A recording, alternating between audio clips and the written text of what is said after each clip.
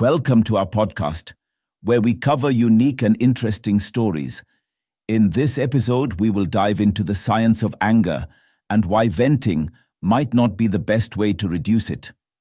A recent study challenges the common belief that venting when you are angry can help release strong emotions. Researchers at Ohio State University have discovered that venting does not reduce anger and may even increase it in some cases.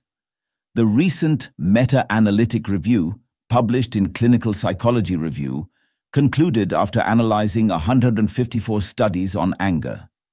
Brad Bushman, senior author and communication scientist, emphasized the importance of debunking the myth that venting anger helps. According to Bushman, it's really important to challenge the belief that when you're angry, you should blow off steam and get it off your chest. His statement followed the publication of the study's results in April, as reported by Science Alert. Venting anger might sound like a good idea, but there's not a shred of scientific evidence to support catharsis theory. While venting does not help anger, it is still important to acknowledge and reflect on the emotions, to feel validated and process them healthily. Some people turn to physical exercise to deal with anger. While it may offer health benefits, it may not improve the mood. To reduce anger, it is better to engage in activities that decrease arousal levels, Bushman said. Despite what popular wisdom may suggest, even going for a run is not an effective strategy because it increases arousal levels and ends up being counterproductive.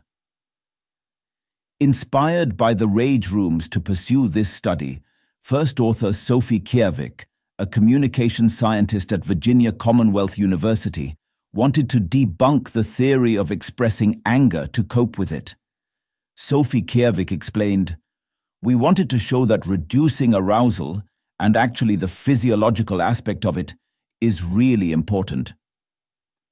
The team also focused on the cognitive aspects, examining cognitive behavioral therapy, which can be one way of diffusing rage. However, they may not be effective for everyone. Researchers analyzed both arousal increasing like boxing and jogging, and arousal reducing activities like deep breathing and yoga. They found out that calming activities were effective in reducing anger. Kjærvik has said, it was really interesting to see that progressive muscle relaxation and just relaxation in general might be as effective as approaches such as mindfulness and meditation it was discovered that arousal-boosting activities did not reduce anger, while some, like jogging, even increased it. Researchers suggest exertion may be more beneficial if the activity is fun, like ball sports. Bushman said, It's really a battle because angry people want to vent, but our research shows that any good feeling we get from venting actually reinforces aggression. While further study is needed to confirm these findings, researchers recommended calming techniques to be the best option to tone down temper. Thanks for tuning in. If you enjoyed this episode, be sure to subscribe and share your thoughts in the comments. Stay connected for more exciting discussions and updates in our next podcast.